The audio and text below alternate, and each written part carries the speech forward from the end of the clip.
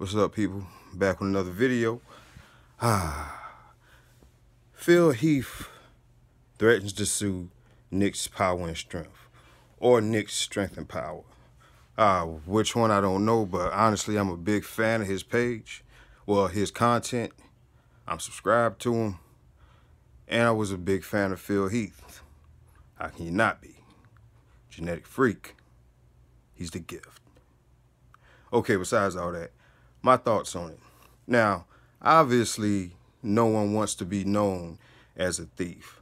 Um, that's the lowest thing you can be outside of being a child molester. Um, nobody trusts a thief. A thief doesn't get any respect. So, the anger and frustration behind somebody posting up content like that, yes, I can understand why you would be upset. Yes, I can understand why you want to sue but I'm not in the same position as you. Um, in my opinion, from the way that it was said on Nick's Power and Strength, the way he said it was, well, basically it sounded, you know, real petty, real childish, and it seems like he's out of touch with reality because obviously, just like with any other celebrity, you know, yeah, you get the perks, but a lot of things come with that, and it's not fair. No, it's not fair. Should anybody put all your business out there? Especially if it's not valid or proven. Yeah, I, I have I have an issue with that also. But when a person gives you the opportunity to speak on the issue and tries to fix the issue, you should probably give them an opportunity to do it. Because realistically, honestly, each and every one of us has sat back and listened to, uh, well, listen to people speak on or speak negatively about um, a famous person's life because um, it draws a lot of attention. But Nick's power and strength shouldn't be the person or the or the person or the um, guy that gets you know the complete complete backlash from you. Um, now, what I didn't like was the fact that Nick put a lot of other people's name in it, whereas it didn't have anything to do with them. You know, if he doesn't have an issue with them, that's one thing. You have no no no right. I don't want to say right. You shouldn't feel that just because he they didn't get caught with it and you did that you should run and tell run and tell everybody else. Because to be completely honest with you, these people gave you that comment, basically. I mean, gave you the the content, basically. Um, so instead of throwing their names in the mud, which I don't believe you did intentionally, you should left their names out of it.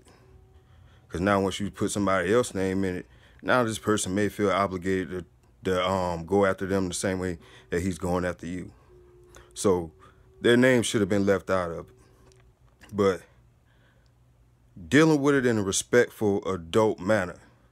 If a person offers you the opportunity without having any legal actions taking place, legal action should be the last resort if the issue can be fixed. And it could have been fixed. But he didn't want to fix it. You're too caught up in your emotions. Um, this is my humble opinion. I truly, truly believe that Phil Heath is one of the if arguably the best Mr. Olympia winner. But things like this come off as arrogant to people. And we all know that bodybuilding is a sport where politics are heavily involved.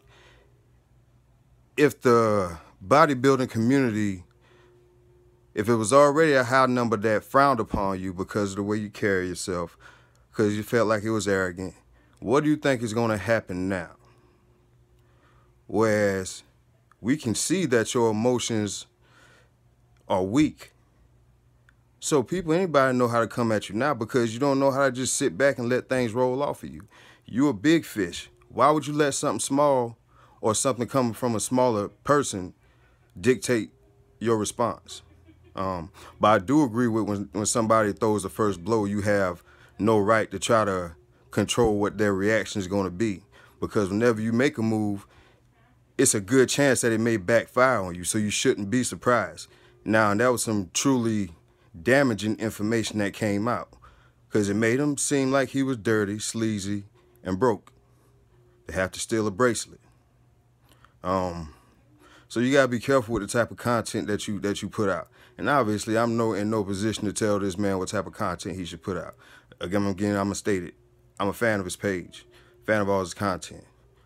I watch it almost on a daily basis. Um, but just because you are a fan of a person doesn't have doesn't mean you have to necessarily agree or believe everything that they're doing. Um, I personally wouldn't want to touch on a subject like that that can draw more attention to the law. Um, even though it's no jail time, you know, jail time isn't a part of the equation, but why would you want to let everybody know about a situation that's being worked on behind closed doors? Because it's not for us to know about.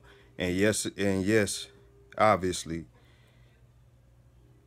legally, you can do what you can put out content like that because it's all opinionated, and you make sure you say allegedly before any solid statement. But that doesn't fix fix the fact that now everybody's going to frown upon you because the lie is more juicy than the truth. And the first time you heard that, you hear it a lot because a lot of people lie because the lie is more interesting. And when the truth finally comes out, guess what?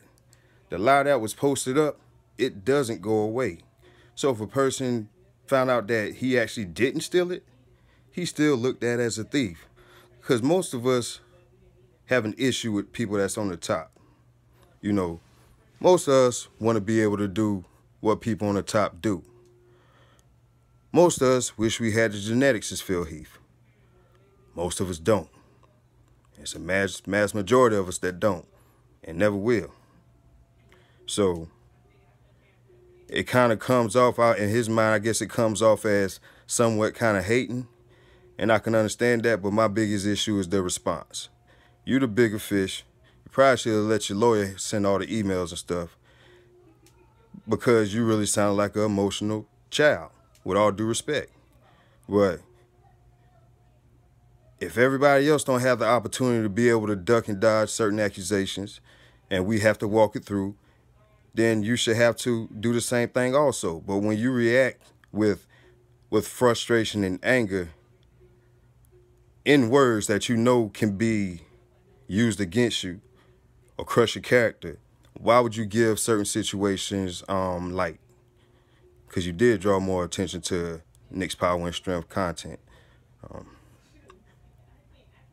I respect the anger that he has, the frustration that he has. But at the end of the day, when certain things come up, we got to deal with it as adults, especially men.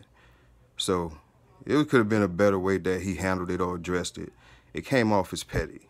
Um, but I think both sides kind of played a part and it was negative on both ends because let's not be surprised when you get a negative backlash, even if you're just reporting on something that somebody else reported on. Because now you done got yourself involved and it could have been avoided. I'm out.